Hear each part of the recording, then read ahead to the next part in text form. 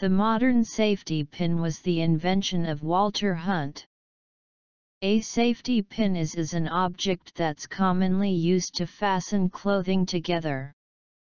The very first pins used for clothing date back to the Mycenaeans during the 14th century BCE and were called fibulae.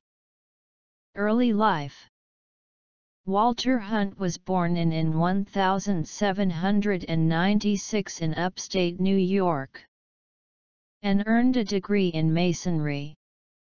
He worked as a farmer in the mill town of Lowville, New York, and his work involved designing more efficient machinery for the local mills. He received his first patent in 1826 after moving to New York City to work as a mechanic. Hunt's other inventions included a forerunner of the Winchester repeating rifle, a successful flax spinner, knife sharpener, streetcar bell, hard coal burning stove, artificial stone, road sweeping machinery, velocipedes, ice plows, and mail-making machinery. He is also well known for inventing a commercially unsuccessful sewing machine. Invention of the safety pin The safety pin was invented while Hunt was twisting a piece of wire and trying to think of something that would help him pay off a $15 debt.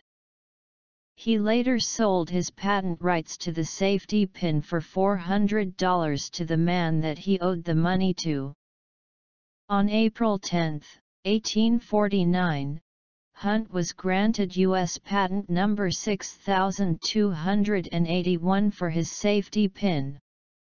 Hunt's pin was made from one piece of wire, which was coiled into a spring at one end and a separate clasp and point at the other end, allowing the point of the wire to be forced by the spring into the clasp.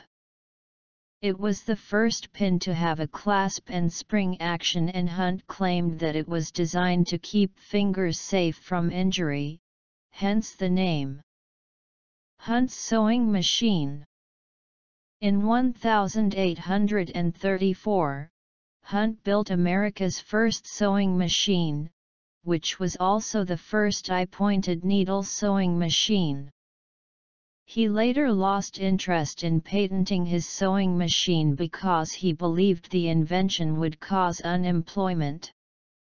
Competing sewing machines the eye-pointed needle sewing machine was later reinvented by Elias Howe of Spencer, Massachusetts, and patented by Howe in 1846.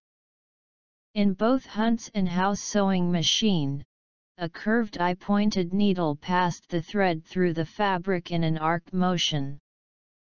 On the other side of the fabric a loop was created and a second thread carried by a shuttle running back and forth on a track passed through the loop, creating a lock stitch. Howe's design was copied by Isaac Singer and others, which lead to extensive patent litigation. A court battle in the 1850s showed conclusively that Howe was not the originator of the eye-pointed needle and credited Hunt with the invention. The court case was started by Howe against Singer, the then largest manufacturer of sewing machines.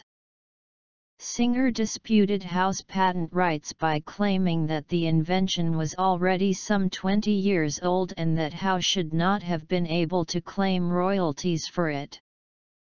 However, since Hunt had abandoned his sewing machine and not patented it, Howe's patent was upheld by the courts in 1854. Isaac Singer's machine was somewhat different. Its needle moved up and down, rather than sideways. And it was powered by a treadle rather than a hand crank. However, it used the same lock stitch process and a similar needle.